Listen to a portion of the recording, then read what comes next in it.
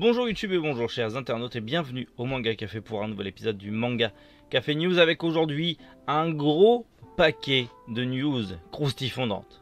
Et on commence par toutes les séries en arrêt de commercialisation chez Pika mais également chez Nobinobi. Asus Rogue qui va lancer un manga, le nouveau manga de Golozao chez Glénat, Bioman qui revient dans un ouvrage hommage chez Kurokawa, le nouveau manga de Maki Usami, deux nouveaux films d'animation pour Otsamatsu-san, une nouvelle collection One Piece chez Uniqlo, et pour finir les sorties manga du jour. Allez, Manga Café News, eh bien c'est maintenant. Alors oui, je sais, vous le savez sûrement déjà, mais il y a eu de nombreux arrêts de commercialisation chez Pika et chez Nobinobi. C'était sur tous les réseaux sociaux, mais on va revenir rapidement ensemble sur les différentes séries qui justement sont en arrêt de commercialisation cette année. Tout d'abord, on commence avec la liste de Pika Edition avec I My Goddess, Aphorisme, IS, Monster Soul, l'intégrale, Noragami Histoire errante, Stray, Soul et 12 Demon King. Collection Pika Shoujo, c'est Close to Heaven, La Maison du Soleil, Lovely Air et Shinobi Quartet qui ne sont plus disponibles. Côté Seinen, ça sera Frost, Faust, Green Worlds, qui m'intéresse beaucoup d'ailleurs, Innohead Gargoyle, Toko, Psychobank et Toko Zero, qui seront aussi en arrêt de commercialisation. Côté Pika Disney, c'est Baymax qui est en arrêt de commercialisation. Dans la collection Pika Graphics, il y aura Forget Sorrow, L'homme de la mer, Muséum, Nos yeux fermés, Un simple monde et dans le Pika roman, Ghost in the Shell. Du côté de Nobinobi, c'est plein de mangas qui s'arrêtent dans diverses collections. Tout d'abord, Le mystère des pingouins, Il était une fois, Le bonheur c'est simple comme un bento de Yuzu, Les Puni Puni et Le merveilleux voyage de Nils Organsson. Et en album illustré, il y en a un paquet. Vite à la rivière, Enfin avec mamie, La lune s'ennuie, Hachiko l'incroyable histoire d'un chien fidèle, Un vœu aux étoiles, Insumboshi le petit samouraï. Vous pouvez me lire ce livre. Pouce, petite pouce, Mon cher voisin, Le manchot de Mouette Express, Le long le long d'un reflet, des moutons partout, danse lumière, est-ce qu'on se ressemble, l'assistant du Père Noël, bizarre comme c'est bizarre, des mini chaussons pour l'école, tu rentres quand, la chambre du peintre, mémoire d'un beau manoir et monsieur et madame Lou ouvrent une école. Voilà tous les petits albums illustrés de, la collection Hachette, hein, parce que Pika euh, et Nobinobi font partie d'Hachette hein, euh, en termes d'édition. Voilà tous euh, ces mangas qui sont en arrêt de commercialisation et ces livres en arrêt de commercialisation, c'est-à-dire tout simplement qu'ils ne seront euh, plus disponibles en magasin sauf stock, hein, c'est-à-dire qu'ils ne seront plus réimprimés. Donc clairement, si l'une de ces séries vous intéresse, commencez déjà à les mettre en tête de wishlist et potentiellement commencer à les, à les acheter avant qui justement ne soit plus disponible et que malheureusement comme beaucoup de séries en arrêt de commercialisation, deviennent soit rares, soit extrêmement chères selon certains revendeurs. Asus Rock qui se lance dans le manga, plus particulièrement dans le webtoon, puisque c'est un webtoon.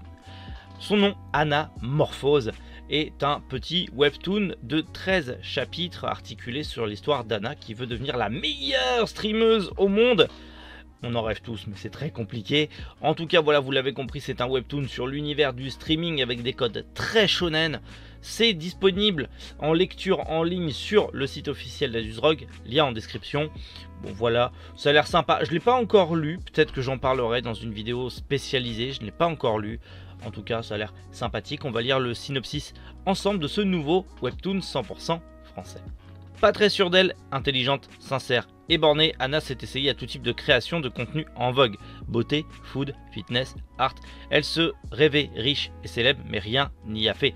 Anna a toujours eu un don pour les jeux vidéo, initié par son frère, petite, mais en tant que fille, elle n'a jamais osé se lancer. Pourtant, sur l'ensemble des joueurs réguliers, on retrouve quasiment autant d'hommes que de femmes. 32 53% d'hommes et 47% de femmes.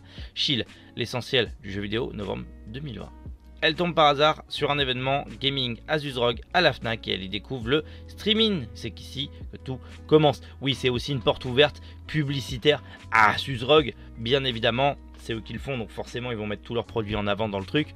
Mais clairement, bah écoutez, ça peut être assez intéressant d'avoir un webtoon dans l'univers du gaming. Je pense qu'il y en existe déjà pas mal, mais là c'est un petit peu cocorico de chez nous, donc affaire à suivre. Et je pense qu'on en reparlera bientôt sur la chaîne. Golo Zhao débarque chez Glénat. Peut-être que vous ne connaissez pas cette autrice et pourtant elle est extrêmement connue dans l'univers de la BD chinoise. Elle a été éditée plusieurs fois en France chez FaZe, chez euh, euh, Kamburaki, chez Pika, chez Casterman et cette fois-ci c'est chez Glénat qu'elle arrive avec la plus belle couleur du monde. Un petit manga onirique qui raconte l'histoire d'un enfant chinois dans les années 90 qui essaye de trouver sa place dans une société chinoise en plein essor.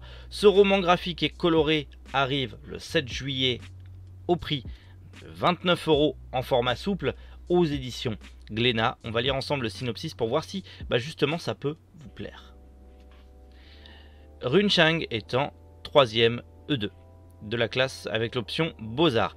À part le dessin et les cartes à collectionner, il n'est intéressé que par une chose, attirer l'attention de Yoon, une élève brillante qui, en plus d'être aussi mignonne, maîtrise parfaitement le dessin et les couleurs. Runcheng aime bien Yoon. Elle est douce et talentueuse, mais il se demande parfois s'il ne se passe pas quelque chose entre elle et le beau gosse de la classe Wen Jun. Il faut dire qu'il a tout pour plaire. Il est grand, ses parents sont riches, il lui rapporte tous les gadgets dernier cri du Japon, il est bon en sport et il arrive même à se débrouiller en dessin. Tous les trois voudraient d'ailleurs pouvoir entrer à l'Académie des Beaux-Arts l'année prochaine. Les places sont limitées et il faudra redoubler d'efforts. Mais même en se donnant à fond, on ne peut empêcher les coups du sort. La vie est faite d'aléas, de hasard, tout arrive et parfois le talent et le travail ne suffisent pas pour réaliser ses rêves.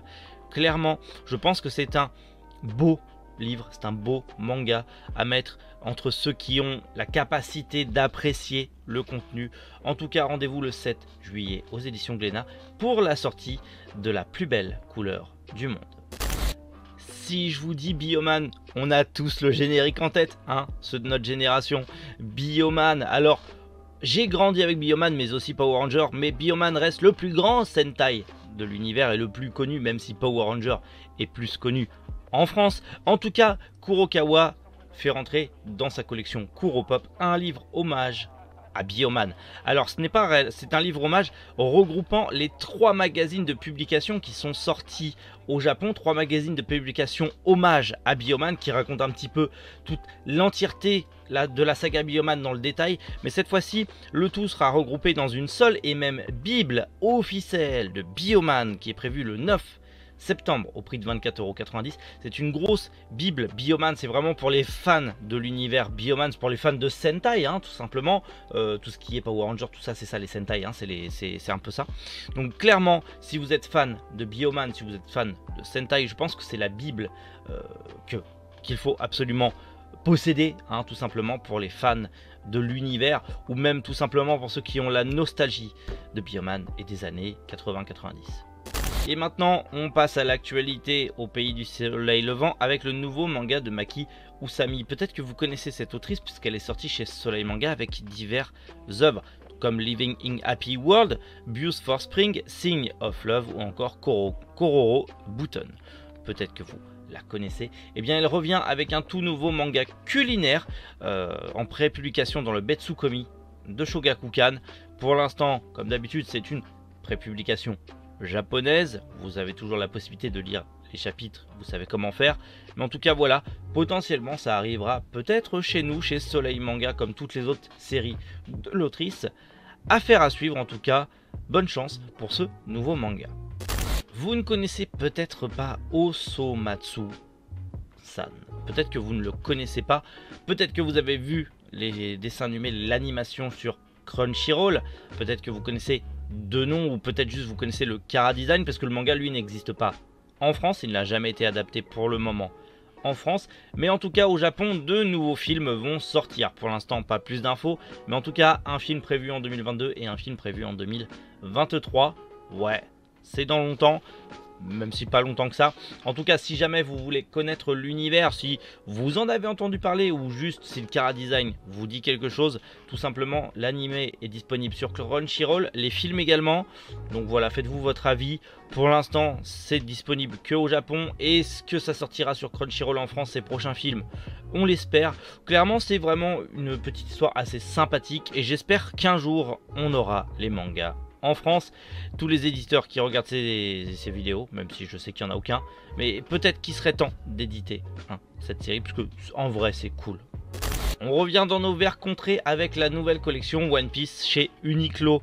Et oui, Uniqlo lance de nouveaux modèles de t-shirts, 6 modèles de t-shirts disponibles chacun au prix de 14,90€ dans l'univers de One Piece. Voilà, euh, bon par contre peut-être plus les acheter en ligne parce que c'est pas dit que tous les magasins soient les en stock bien que c'est du One Piece, donc je pense que de toute manière il va y avoir un gros stock parce que c'est du One Piece.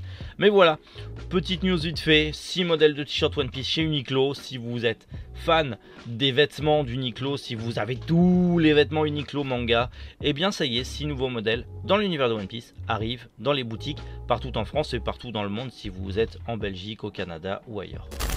Allez, après toutes ces news, on passe aux sorties manga du jour avec quelques sorties très intéressantes aujourd'hui.